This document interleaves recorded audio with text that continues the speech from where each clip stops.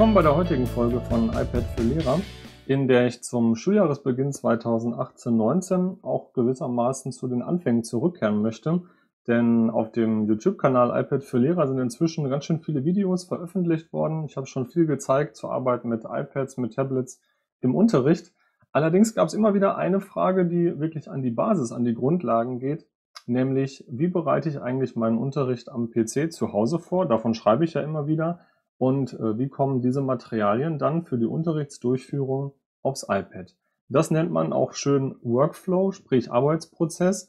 Hm, wie sieht also einfach die Unterrichtsvorbereitung zu Hause aus versus die Unterrichtsdurchführung im, äh, in der Schule?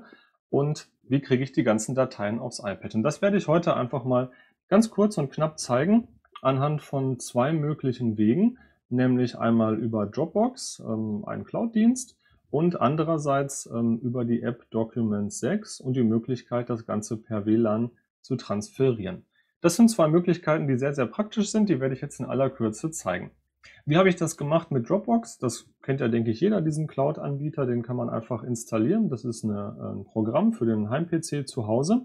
Und das, hm, genau wie auch Google Drive oder Microsoft OneDrive, wenn man die installiert, nistet sich schon ganz automatisch im Windows Explorer ein. Den öffne ich mal und dann sehen wir auch schon, dass hier links neben der Festplatte sich ein Ordner namens Dropbox befindet. Das ist ganz praktisch, denn da muss man jetzt keinen Ordner Dropbox oder so mehr aufmachen und den irgendwie verknüpfen mit Dropbox. Der ist hier ganz automatisch im Windows Explorer. Und ähm, ich habe jetzt, um meine Dateien immer online und aktuell zu halten, ähm, sprich synchronisiert, einfach alle meine Schulordner, die ich brauche für den Unterricht oder auch für andere Aktivitäten, nicht auf der Festplatte C, sondern direkt in meinem Ordner Dropbox angelegt. Denn dann werden alle Dateien, die ich innerhalb dieses Ordners anlege, automatisch mit meiner Dropbox im Internet synchronisiert und können auf allen anderen Geräten, die mit meiner Dropbox zusammenarbeiten, also meinem iPhone und meinem iPad, automatisch aktualisiert und genutzt werden.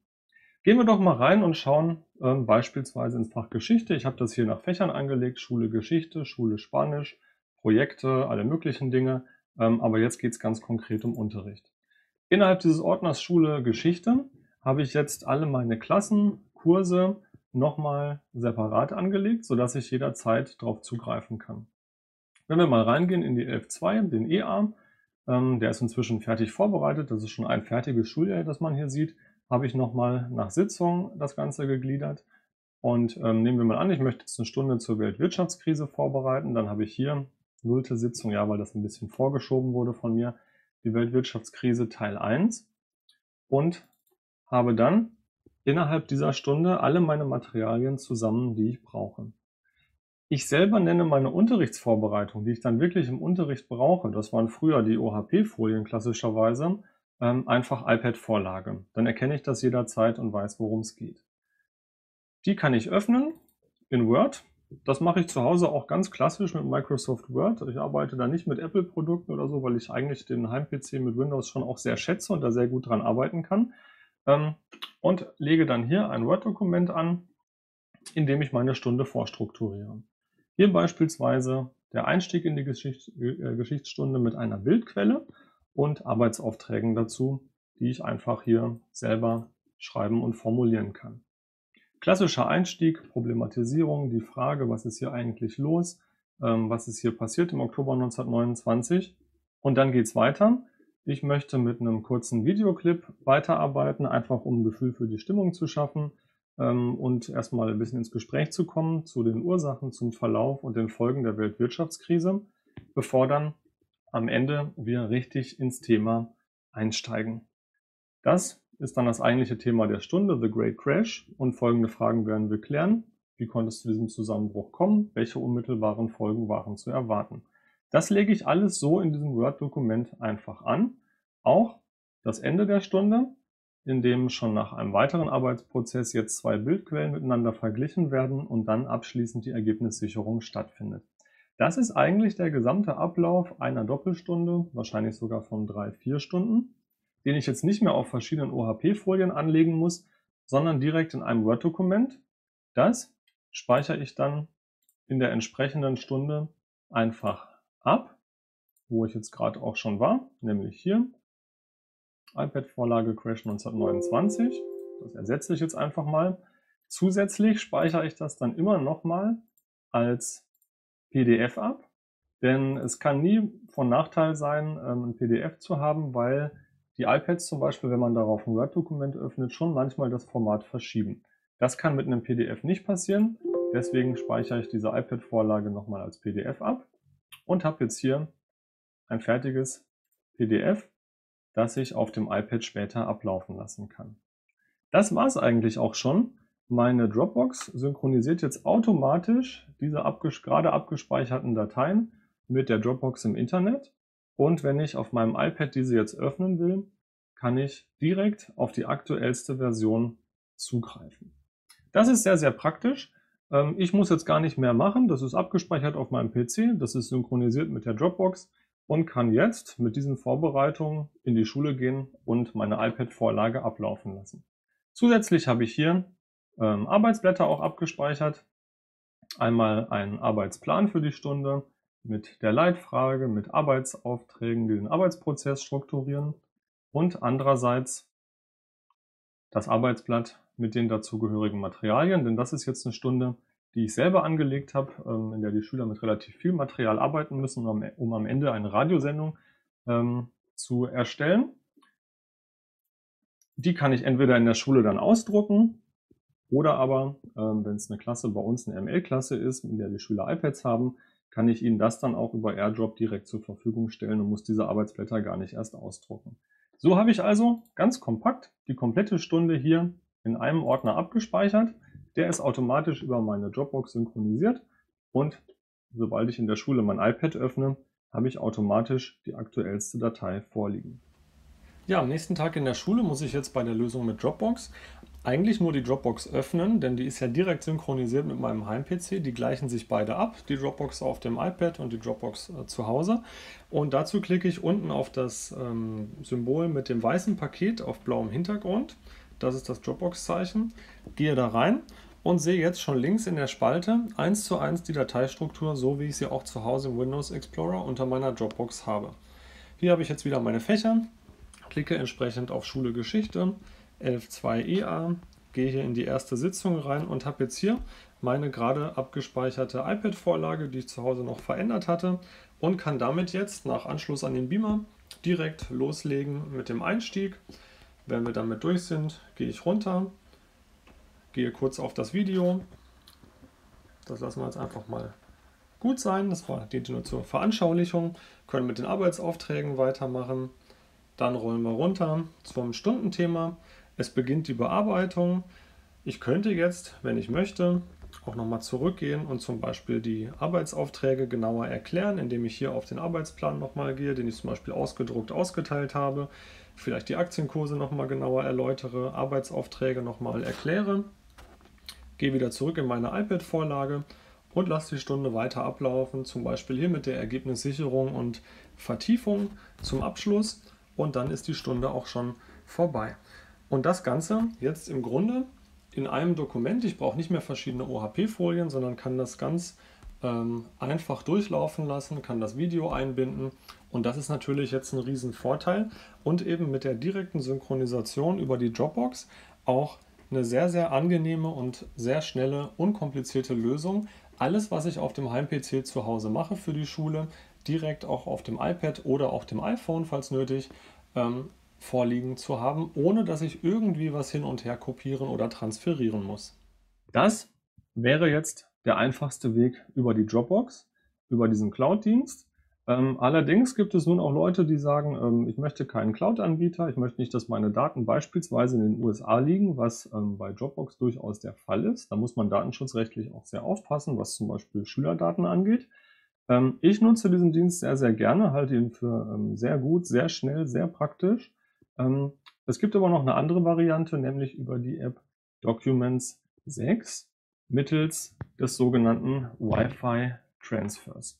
Das hatte ich schon mal in einem anderen Video gezeigt, kann es aber auch gerne heute nochmal zeigen, nämlich wie ich jetzt mittels Wi-Fi Transfer und Document 6 meine Dateien vom PC auf das iPad bekomme. Auf dem PC sieht das Bild jetzt so aus, dass ich im Internet, in diesem Fall jetzt Firefox, docstransfer.com eingebe und sich automatisch die Startseite öffnet ähm, zum Transfer vom PC auf, auf den, das iPad mit der Documents App beziehungsweise auch andersrum. Wie mache ich das? Ich öffne auf dem iPad die App Documents. Hier steht es nochmal gezielter auch fürs iPad. Tippe dann auf Wi-Fi Transfer, richte die Kamera des iPads auf den Bildschirm, genau hier auf diesen QR-Code und dann verbindet sich das iPad automatisch über das WLAN mit dem PC und ich kann jetzt Daten hin und her transferieren. Auf dem PC wird jetzt die Verbindung hergestellt und schon kann ich meine gesamte Ordnerstruktur, die ich auf dem iPad habe, in Document 6 hier sehen und kann jetzt damit arbeiten und ähm, zum Beispiel Dateien eben jetzt vom Computer auf das iPad transferieren. Um zu zeigen, wie einfach, unkompliziert und vor allem aber auch schnell dank WLAN ähm, der Dateitransfer zwischen dem Heim-PC und dem iPad und andersherum jetzt funktioniert, werde ich das einfach mal ganz kurz auf zwei Bildschirmen zeigen. Einerseits hier auf meinem iPad und andererseits auf dem PC. Die beiden sind jetzt schon verbunden über Wi-Fi Transfer, was ich ja gerade eben schon gemacht hatte. Und ich sehe jetzt sowohl in meinem Internetbrowser auf dem Heim-PC als auch auf meinem iPad den Startbildschirm von Documents mit der Dateistruktur.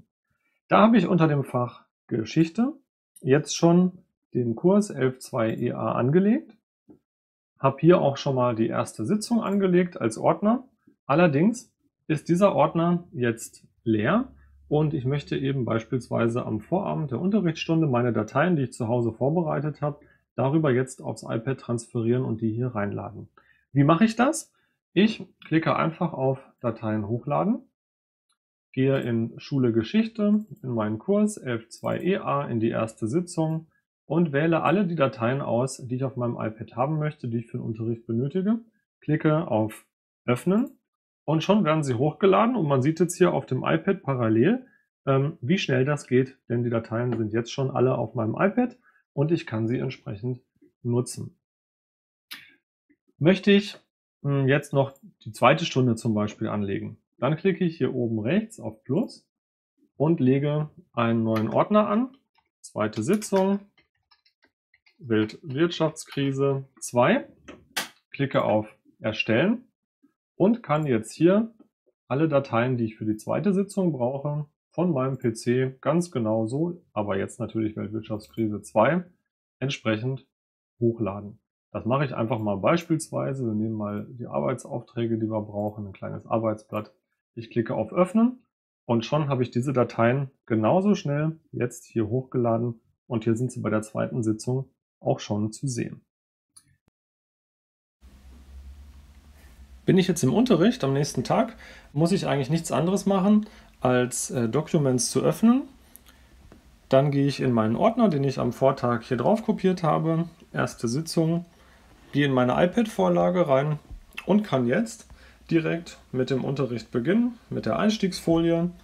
Dann geht es weiter mit dem Videofilm. Den kann ich jetzt direkt öffnen, indem ich auf den Link klicke, sage Ja und kann das Video jetzt anspielen. Das habe es mit Mikro verbunden ist.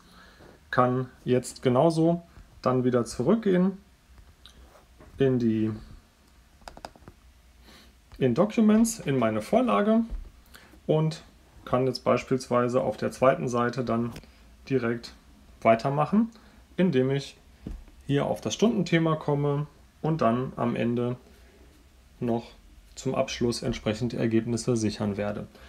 Damit habe ich in einem Dokument alles zusammen, was ich brauche für eine Unterrichtsstunde, habe zusätzlich in diesem Ordner meine Arbeitsblätter, die kann ich im Zweifel, wenn ich möchte, auch nochmal schnell aufrufen. Wenn zum Beispiel die Schüler hier einen Arbeitsauftrag nicht genau verstehen, kann ich das zur genaueren Erklärung nochmal aufrufen oder aber hier auch diese Graphen der Aktienkurse nochmal äh, kommentieren beispielsweise und habe damit im Grunde ähm, zum einen einen Overhead-Projektor ersetzt, habe einen Videoplayer ersetzt oder einen DVD-Player, den ich eigentlich gebraucht hätte, Und das alles in einem Dokument, nämlich hier in meiner iPad-Vorlage, mit der ich den Unterricht jetzt im Grunde so mehr oder weniger ablaufen lasse, was eben auch natürlich dazu beiträgt, dass der Unterricht ähm, wesentlich flüssiger und nahtloser abläuft. Heute ging es aber vor allem darum, genau mal zu zeigen, wie eigentlich so eine Unterrichtsverwaltung ähm, ja, das Konzipieren, das Erstellen, das Vorbereiten von Unterricht zu Hause auf dem Heim-PC funktionieren kann, um dann am nächsten Tag mit dem iPad den Unterricht mit dem Beamer durchzuführen. Zwei Varianten habe ich eben gezeigt. Ähm, zum einen über die Dropbox, zum anderen über Document 6 mit Wi-Fi Transfer. Beides Varianten, die sehr unkompliziert und einfach sind.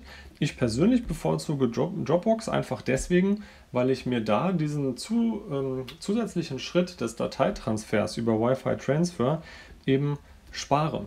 Ich speichere zu Hause einfach direkt in der Dropbox und das kann ich dann wiederum, wie gezeigt, auch direkt auf dem iPad dann im Unterricht abrufen. Der Kopierschritt entfällt. Allerdings ist diese Lösung über Document 6 für alle die von Vorteil, die eben aus Datenschutzgründen beispielsweise nicht einen der großen Cloud-Anbieter aus den USA wie Dropbox, Google Drive oder auch Microsoft OneDrive nutzen wollen. Zwei Varianten. Im Grunde hat man die freie Wahl. Natürlich gibt es auch noch ähm, einen USB-Stick fürs iPad, den man nutzen kann. Das habe ich ja in einem anderen Video schon gezeigt.